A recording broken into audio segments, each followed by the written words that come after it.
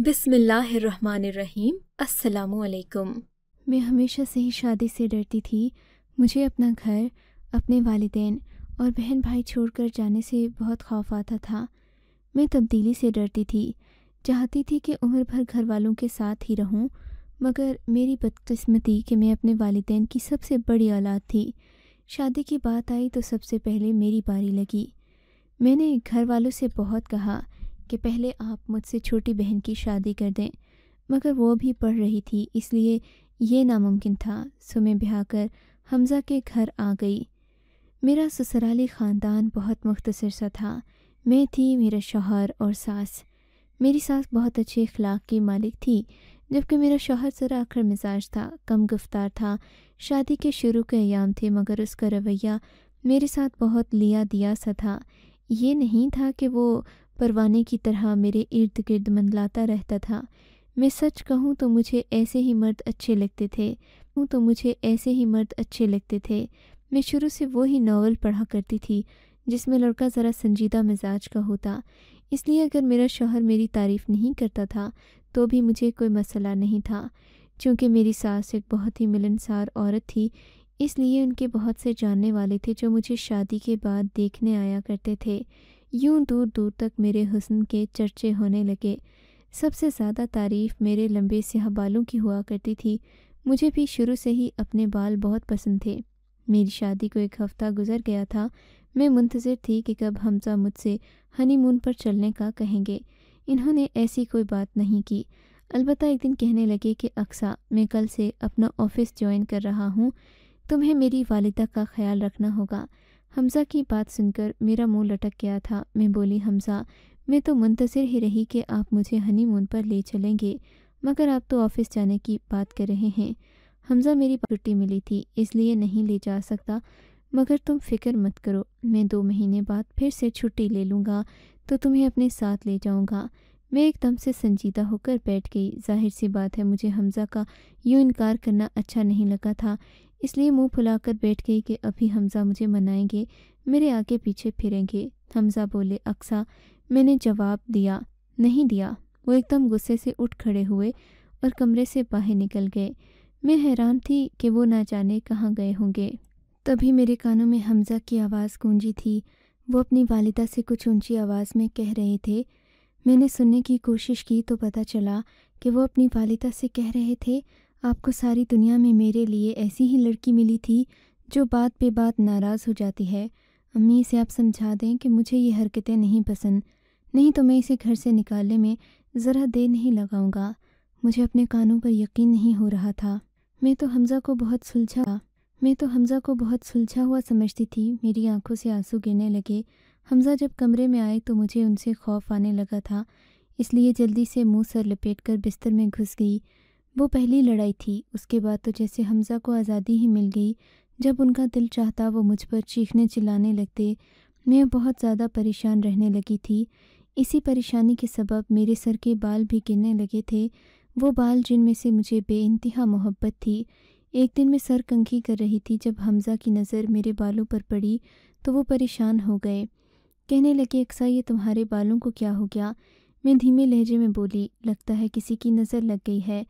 वो हंस दिए और बोले, शायद मेरी नज़र ही लग गई होगी।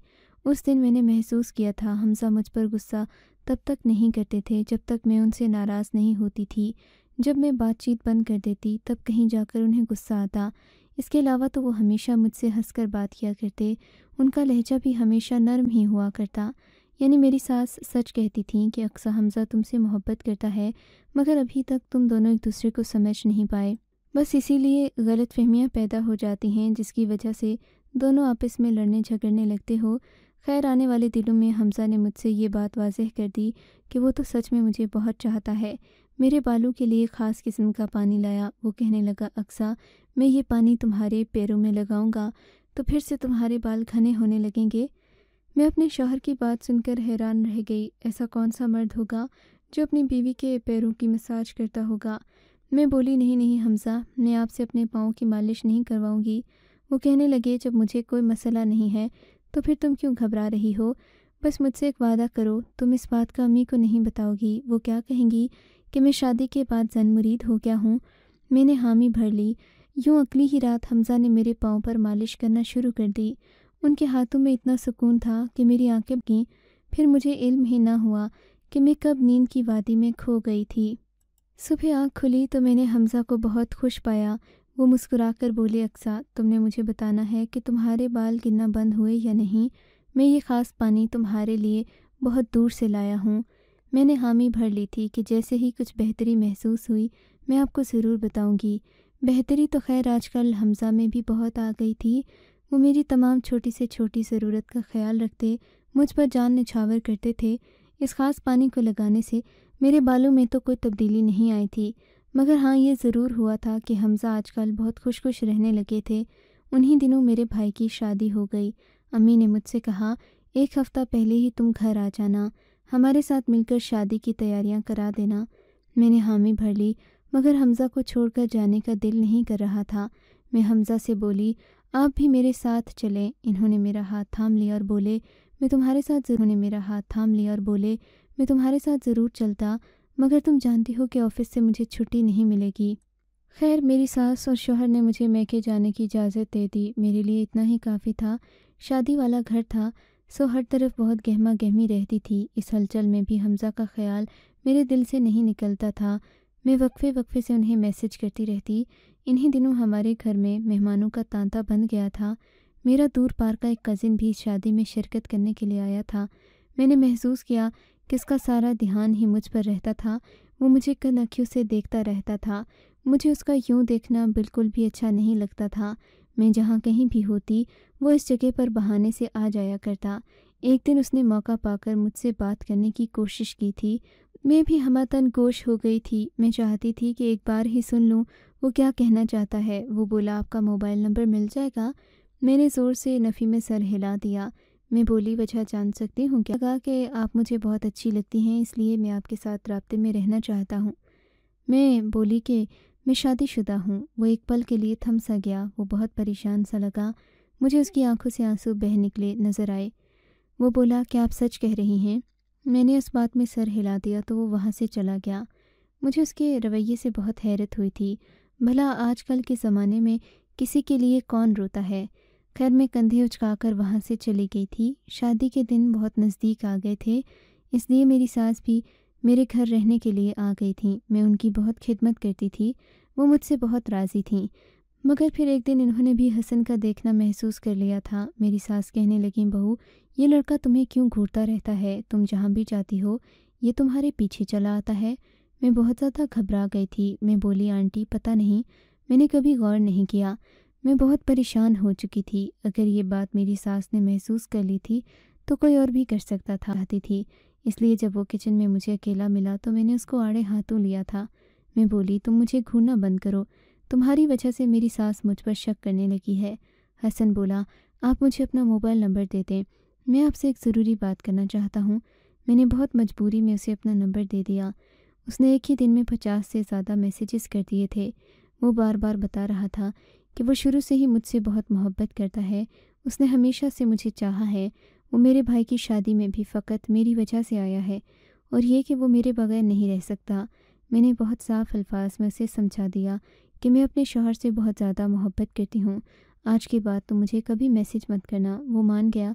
उसके बाद शादी के फ़ंक्शंस शुरू हो गए। हमसा खड़ी दो घड़ी के लिए फ़ंक्शंस में आया करते थे। मुझसे कहते कि जल्दी से शादी से फारिग हो जाओ। मैं तुम्हें बहुत याद करता हूँ। मैं चाहता हूँ कि तुम घर वापस आ जाओ। हसन के ये अल्फाज मुझे सातवें आसमान पर पहुँचा देते थे। यूँ ही शादी पर पहुँच गई और मैं अपने घर वापस आ गई थी। मेरा घर पहले जैसा ही था। मेरी सास मुझे बहुत प्यार किया करती थी। जैसे ही रात हुई, शोहर कहने लगा, अक्सा, शादी की वजह से मैं तुम्हारे पाँव पर पानी नहीं लगा पाया। आज से फिर लगाना शुरू कर देता हूँ। मैं मान गई थी। जैसे ही शौहर ने मेरे पाँव पर मालिश की तो मुझे नींद आ गई। सुबह उठी तो मैं थोड़ी उदास सी थी कि इतने दिनों बाद घर वापस आई और वो भी शोहर से बातचीत के बिना ही सो गई। खैर, मैंने आज हमज़ा की आँखों में अपने लिए अजीब से एहसास देखे थे। वो मुझे नफ़रत भरी नज़रों से देख रहा था। मैं बहुत ज़्यादा घबरा गई थी। मैंने हमज़ा से बात करने की कोशिश की, मगर वो मुझे नज़रअंदाज करके अपने ऑफ़िस चले गए। उनके जाने के बाद मैं भी बहुत परेशान सी रही। खैर, मैं घर के कामों में अपना दिल बहलाने लगी थी। काम से फारिग होकर जब कमरे में गई तो नज़र मोबाइल पर पड़ी। उस पर तीस मैसेजेस आए हुए थे। ये मैसेजेस रात के पिछले पहर मुझे रिसीव हुए थे। मैं बहुत ज़्यादा घबरा कि शायद इसकी वजह से हमज़ा का मूड ऑफ़ था। ये खौफ मुझे अंदर ही अंदर खाए जा रहा था कि कहीं इसने हसन के मैसेजेस ना देख लिए हों। मुझे हसन पर भी बहुत ज़्यादा गुस्सा आया था। मैंने फ़ोन करके उसको बहुत ज़्यादा सुनाई थी। फिर उसके बाद उसका नंबर भी ब्लॉक कर दिया। न जाने ये कैसा कमसर्फ इंसान था, जो ये जान भी गया था कि मैं पहले से शादीशुदा हूँ, मगर फिर भी मेरा पीछा नहीं छोड़ रहा था। खैर, सारा दिन परेशानी में गुजरा था। शाम में जब हमज़ा घर वापस आए तो उनको मूड खुशगवार लगा था मुझे। मेरे सर से भारी बोझ सिरक गया। मुझे सुकून मिल गया। हमज़ा ने मुझसे मुस्कुराकर बात भी की थी। मैं खुद पर हैरान हो रही थी। कि मैं अपने शोहर को इतना कैसे चाहने लगी हूँ कि इसका मिजाज मेरे मिजाज पर असरअंदाज होने लगा है। खैर, हम दोनों मियाँ बीवी ने ढेरों बातें की थीं। सच तो ये है, मैं ही हसन से बातें करती रही थी। वो तो ना जाने किस सोच में गुम था। खैर, रात हुई तो हसन ने फिर से मेरे पाँव पर मालिश करना शुरू कर दी और मैं सो गई। सुबह जब आँख खुली थी और मैं सो गई। सुबह जब आँख खुली तो मुझे फिर से अपने शोहर की आँखों में अपने लिए बहुत ज़्यादा हकारत नज़र आई। ये हकारत, ये नफ़रत क्या मैं इस सब की हकदार थी? खैर, बाद में जब मेरा शौहर शाम को घर में वापस आता तो मैं उसका खुशगवार मूड हुआ करता। मैं जानना चाहती थी कि आखिर मेरा शोहर सुबह के वक्त मुझे इतने बुरे अंदाज से क्यों देखता है।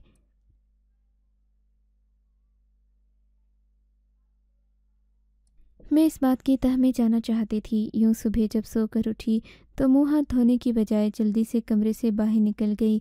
मैं देखना चाहती थी कि आखिर मेरा शौहर कहाँ जाता है, क्या करता है। वो मुझसे बात किए बगैर अपने काम पर चला जाता है और फिर पीछे से मैं सारा दिन उसकी वजह से परेशान रहती हूँ। मैं सहन में आकर खड़ी हो गई, तब मुझे मेरी सास के कमरे से आवाज़ें सुनाई दी। मेरी सास गुस्से से कह रही थी कि, हमज़ा, अपनी बीवी को छोड़ दो, वो अच्छी औरत नहीं है। हमज़ा गुस्से से बोला, अम्मी, आपकी बातें आपकी बातें सुनकर मेरे कान पक चुके हैं। मैं अपनी बीवी से बे इंतहा मोहब्बत करता हूँ, उसे छोड़ नहीं सकता। मेरा पूरा वजूद लरसने लगा। मैं जल्दी से वापस अपने कमरे में आ गई। मेरी आँखों से आँसू बह रहे थे तो मेरी भोली भाली सी नज़र आने वाली सास मेरे साथ ये सब कर रही थी। वो मेरा घर उजाड़ने की दर पे थी। ये कैसे हो सकता था कि वो मेरे लिए तलाक का मुतालबा कर रही थी? क्या इन्हें अल्लाह से खौफ नहीं आता था? मुझे याद पड़ता है कि भाई की शादी से जाने से पहले जब मैं सो कर उठती थी तो हसन इतने प्यार से बात किया करते थे और अब जब मैं सो कर उठती हूँ, मेरा शोहर मुझे देखना भी गवारा नहीं करता। इस सब की जिम्मेदार मेरी सास थी। मेरे दिल में अपनी सास की खातिर बाल आ गया था। खैर, अब इन हालात से मैं तंग आ चुकी थी। मैं चाहती थी कि सारी बात खुलकर मेरे सामने आ जाए। मेरा शोहर खुद ही मुझसे पूछ ले कि ये हसन कौन है? तो इनकी बात मैं इन्हें सारी बता दूँ। उनका शक तो मुझ पर से ख़त्म हो जाए। मेरी ज़िंदगी एक मामूल के मुताबिक गुजरने लगी, जिसमें कोई खुश न थी। हर शब मेरा शोहर मेरे पाँव पर पानी लगा दिया करता और मैं उसी में खुश हो जाया करती। यूँ जब शोहर रात मेरे पाँव पर पानी लगाने लगा तो मैंने उससे बोतल पकड़ ली। मैं उसे खोलकर देखने लगी कि अचानक ही हमज़ा अपनी जगह से उठे। उनका हाथ लग गया और वो बोतल ज़मीन पर जा गिरी। सारा पानी नीचे ज़मीन पर गिर गया। हमज़ा का चेहरा एकदम से सर्द पड़ गया। मैं बोली, हमज़ा, आप फ़िक्र न करें। मैं अभी साफ़ कर देती हूँ, मगर मैं अपने बिस्तर से उठ भी नहीं पाई थी। मैं फ़ौर ही सो गई थी। सुबह भी मेरी आँख खुल गई। जब मैं जागी तो घड़ी बारह बजाने का पैगाम दे रही थी। मैं बहुत ज़्यादा घबरा गई थी। इससे कबिल तो मैं कभी भी इतनी देर तक नहीं सोती थी। खैर, अब मेरा दिमाग बहुत तेज़ी से काम कर रहा था। मैं जाग गई। मैं जान गई कि ये पानी वाकई बहुत ख़ास है। इतना ख़ास कि इसकी वजह से हर शब्द में सो जाया करती हूँ। मैंने सोच लिया था कि आज जब मैं अपने पैरों पर मालिश कराऊँगी, मगर सोऊँगी नहीं? इसका हल मैंने ये निकाला, रात जब मेरा शोहर मेरा इससे पहले ही मैंने अपने नाक में रुई ठोंस दी। वो मेरे पास आकर धीरे धीरे से उस पानी को मेरे पाँव पर लगाता। मैं नाटक करके आँखें बंद करके लेट गई। जैसे ही मैंने आँखें बंद की, हमजा को लगा कि शायद मैं सो गई हूँ। इसलिए वो जल्दी से बिस्तर से उठा। फिर उसने कुछ ऐसा किया कि मेरे कदमों तले से ज़मीन निकल गई। इससे ज़्यादा अब मैं ये सब बर्दाश्त नहीं कर सकती थी, इसलिए जल्दी से उठ बैठी। हमज़ा की नज़र जैसे ही मुझ पर पड़ी, वो थर थर कांपने लगा। मैं बोली, हमज़ा, मुझे आपसे ये उम्मीद नहीं थी। मुझे आप बताएँ कि ये सब क्या है? आपने मेरे साथ ऐसा क्यों किया? हमज़ा मेरी बात सुनकर रोने लगा। वो बोला, अक्सा, मैंने ये सब बहुत मजबूरी में किया था। मैं तुमसे शादी करना ही नहीं चाहता था। मैं तो किसी और लड़की को पसंद करता था। मगर अम्मी ने मेरी एक न सुनी। इन्होंने ज़बरदस्ती ही मेरी शादी तुमसे करवा दी। मैं एकदम से फनकार कर बोली, हमजा, अब छोटे बच्चे नहीं हो कि कोई आपसे ज़बरदस्ती कुछ भी करवा सकता हो। हमजा बोला हाँ तुमने कहा अक्सा, मगर तुम जानती हो क्या? अम्मी ने मुझे अपने सर की कसम दी थी। वो कहने लगी, अगर तुमने ये शादी नहीं की तो तुम मेरा मरा हुआ मुँह देखोगे। बस इतना ही नहीं। इन्होंने तो मुझे सारी जायदाद से आग करने की भी कसम खा ली थी। ऐसे में ये शादी मेरी बहुत बड़ी मजबूरी बन गई थी। शादी की रात मैंने सोच लिया था कि मैं तुम्हें तलाक देकर ही दम लूँगा, मगर तुम्हें इल्म है कि क्या हुआ? जब तुम अपने भाई की शादी में गई तो मैंने तुम्हारे ही अपने बहुत दूर के रिश्तेदार को पैसों का लालच देकर कहा कि वो किसी तरह तुम्हें अपने प्यार के जाल में फंसा ले। उसका काम ये था कि वो तुम्हें शादी के सुहाने सपने दिखाकर मुझसे तलाक लेने पर मजबूर कर दे। मगर तुमने वफादार बीवी होने का सबूत दिया, फिर भी मेरा दिल तुम्हारी तरफ़ से ना पिघला था, क्योंकि मैं अपनी पहली बीवी शानजे को बहुत चाहता था। हमज़ा की ये बात सुनकर मेरे सर पर सातों आसमान टूट पड़े। मैं बोली, क्या पहले से शादीशुदा हो? हमज़ा ने इस बात में सर हिला दिया, वो कहने लगा हाँ। हमज़ा ने इस बात में सर हिला दिया, वो कहने लगा हाँ मैंने तुमसे ये शादी एक शर्त पर की थी। मैंने अम्मी से कह दिया था कि आप मेरी बीवी शानजे को इस घर से नहीं निकालेंगी अम्मी कहने लगी तो फिर ठीक है। अपनी इस मनहूस बीवी को यह भी कह दो कि अक्सा के सामने कभी भूल कर मत आए। यूँ शानजे छत वाले कमरे में ही रहती थी दिन भर मेरा उससे रबता भी सिर्फ़ फ़ोन पर ही होता था। क्या हुआ अगर शान से एक तवाइफ थी? लेकिन वो तो मेरे लिए सब कुछ छोड़ चुकी है ना? उसने गुनाह की ज़िंदगी से तौबा कर ली, मगर अम्मी को उसका माजी नहीं भूलता। वो हर लम्हा ही यही कहती हैं कि वो एक तवाइफ शादी से अपनी नस्ल को आगे बढ़ते हुए नहीं देखना चाहती। यूँ ही एक घर में रहते हुए मुझमें और शानजे में जुदाई आ गई। फिर मैंने एक प्लान बनाया। मुझे इल्म था, तुम्हें अपने बालों से बहुत मोहब्बत थी, इसीलिए मैंने उसी के ज़रिए तुम्हें पागल बनाया। ये पानी जो मैंने तुम्हारे पाँव पर लगाया, इसमें मैंने बेहोशी की स्प्रे मिलाई होती थी।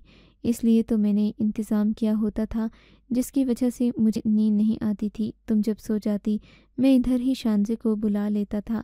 हम दोनों एक दूसरे के साथ वक्त बिताने लगे, इसलिए मैं बहुत खुश था। फिर जब तुम अपने भाई की शादी पर चली गई, पीछे मैं और शानजे ही घर पर रह गए। उसने मुझे ये खबर सुनाई कि वो उम्मीद से है। ये सुनकर मैं बहुत खुश हुआ कि अब अम्मी का दिल पिघल जाएगा, मगर इन्होंने तो सातों आसमान अपने सर पर उठा लिए। वो कहने लगी तेरी बीवी बदकिरदार है, इसे घर से निकाल दे। अब मुझे तुमसे नफ़रत होने लगी थी। तुम्हारी वजह से मेरी बीवी मुझसे दूर थी। वो भी एक घर में रहते हुए। तुमने महसूस किया होगा कि मैं सिर्फ़ रात के वक्त ही तुम्हारे साथ अच्छा होता था, क्योंकि मैंने तुम्हारे पाँव पर पानी लगाना होता था। मैं हमजा के पहलू में खड़ी, हसीन और प्यारी लड़की को देखकर दंग रह गई। खैर, ये सब बातें सुनकर मेरा दिल बहुत दुखिया था। मैंने उसी वक्त अपना सामान पैक किया और घर छोड़कर चली गई। हमजा ने भी मुझे नहीं रोका। मैंने अपने घर जाकर सारी बात बता दी। मेरे वालिदैन तो ये बातें सुनकर ही घबरा गए थे कि मेरा और फिर उसने मेरे पीछे एक लड़का भी लगाया हुआ था, जिसका काम मुझे अपने झूठे प्यार के जाल में फांसना था। अबू बोले, बेटी, अगर वो तुमसे जान छुड़ाने के लिए ये सब कर सकता है तो फिर न जाने आगे क्या क्या करेगा। इसलिए तुमने बहुत अच्छा किया कि घर वापस आ गई। हमने बेटियाँ इसलिए पैदा नहीं की कि वो अपने खुद सर शोहरों के हाथों खिलौना बने। अक्सर जब तक तुम्हारा बाप ज़िंदा है, तुम्हें सर आँखों पर बिठा कर रखेगा। फिर अबू खुद कोर्ट के चेहरे के चक्कर लगाते रहे कि मेरे लिए खुला ले सकें। ये शुक्र है कि उन्हें ज़्यादा मज़ाहमत का सामना नहीं करना पड़ा। हमजा ने बहुत आसानी से मुझे तलाक दे दी थी। अब इस वाक़े को पाँच साल बीत चुके हैं। मेरे वालदेन और बहन भाई मुझसे बहुत मोहब्बत करते हैं। अबू चाहते हैं कि मैं अपना घर बसाने की सोचूं। मगर मैं अभी पिछले वाक़े से ही बहुत ज़्यादा खौफसदा हूँ, इसलिए ये ना कर सकी। अबू ने मुझ पर ज़ोर नहीं डाला। मेरे छोटे बहन भाइयों की शादी हो चुकी है, जबकि मैं अपने शौक़ की तकमील कर रही हूँ। मुझे कुकिंग का बहुत शौक़ था। मैंने अब एक इतनी का बहुत शौक़ था। मैंने अब एक इदारा ज्वाइन कर लिया है। मैं कुकिंग क्लासेस लेती हूँ। मैं मुंतज़र हूँ कि कब मेरी ज़िंदगी में ऐसा शख्स आएगा जिस पर मैं आँखें बंद करके यकीन कर सकूँ, उससे शादी कर सकूँ। मुझे अपने वालिद का फ़ख्र है कि इन्होंने शादीशुदा बेटी को बोझ नहीं समझा, बल्कि एक जीता जागता सांस देता इंसान समझा। आज उनकी वजह से ही मैं अपनी ज़िंदगी को इंजॉय कर रही हूँ, वरना पता नहीं मेरा शहर अपनी मोहब्बत हासिल करने के लिए किस हद तक पहुँच जाता।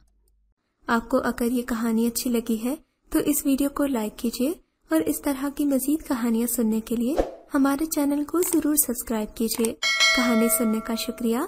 आपसे मुलाकात होगी अगली वीडियो में। तब तक के लिए अल्लाह हाफिज।